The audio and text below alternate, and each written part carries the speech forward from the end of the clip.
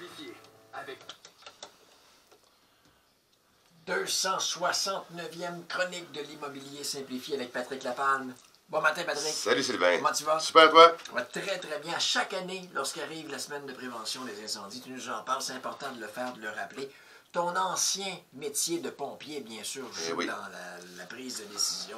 Puis à chaque année, tu dis, oui, on va en reparler parce qu'il y a un lien à faire avec l'immobilier. Eff- effectivement, c'est toujours dans mon cœur et dans ma tête et dans mon Ouais. esprit cette, euh, ce- cette belle job-là, la plus belle au monde qui n'existait pas. Mais là, présentement, je le fais plus, mais je fais un autre bel job, Ouais, celle de l'immobilier, et on ça. va tout mettre ça ensemble. Donc, vous achetez une nouvelle propriété, vous allez voir pourquoi le lien entre la prévention incendie.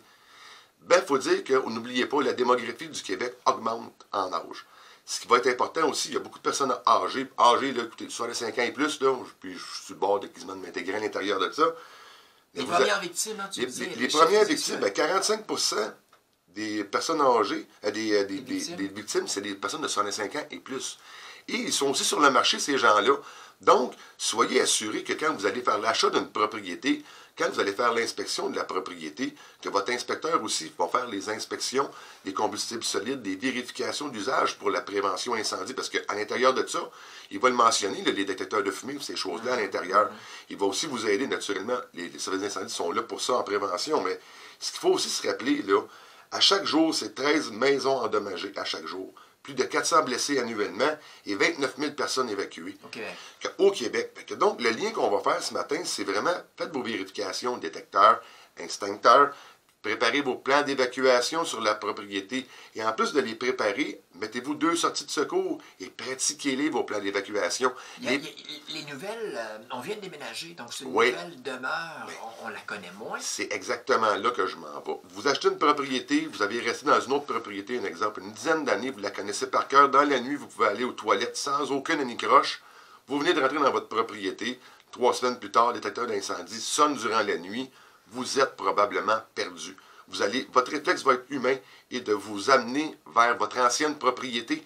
Et là, ça va vraiment être important de faire vos vérifications, de vous sentir aussi en sécurité à l'intérieur de votre demeure. Vous pouvez avoir une intergénération que les enfants habitent. Vous, vous êtes dans le, le- dans le bachelor qu'on pourrait communément appeler, et vos enfants sont là. Faites-le conjointement pour vraiment vous appuyer. Et aussi, ce qui est vraiment important de savoir, c'est que les- la majorité des services d'incendie ont des registres de personnes à mobilité réduite ou personnes avec des pertes cognitives. Donc, inscrivez-vous auprès de vos services d'incendie parce qu'eux ne le savent pas s'il y a des personnes. ouais.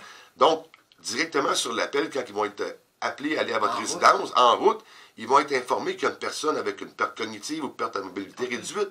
Donc, ils vont se diriger directement, un exemple, dans une unité de département, il y a, il y a 20 logements à l'intérieur, il va y en avoir une équipe qui va aller directement à l'intérieur de ce logement-là et les autres vont aller voir les autres euh, à l'endroit a le sinistre qui aurait été déclaré. Ça se fait de plus en plus aussi, papa, maman qui euh, emménagent à la maison, Oui. qui vivent avec nous. Effectivement. Alors, Puis on ce- les inclut dans les Oui, pratiques, on les inclut dans les pratiques aussi. Et c'est vraiment de s'assurer que les personnes âgées aussi, et toutes les personnes, n'aient pas d'oubli. Souvent, les oublis pourraient être des mégots de cigarettes, puis on en a, on en voit des exemples, des mégots de cigarettes dans les pots de fleurs ou des choses comme ça qui vont créer des incendies. Les barbecues aussi, l'usage durant l'hiver, il faut être prudent avec ces choses-là. Il faut vraiment, s'assurer d'être en sécurité dans votre nouvelle demeure.